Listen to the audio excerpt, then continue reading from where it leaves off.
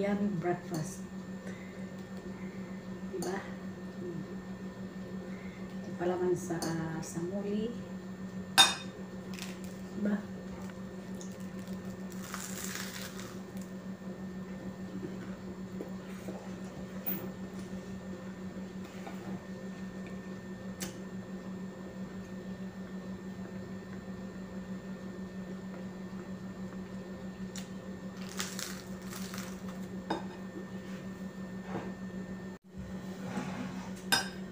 Mga baby loves, kain tayo ng almusal.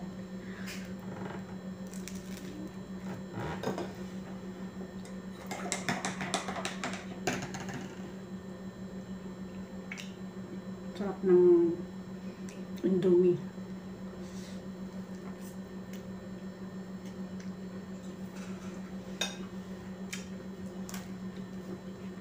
Pinalaman ko dito sa ano sa muli.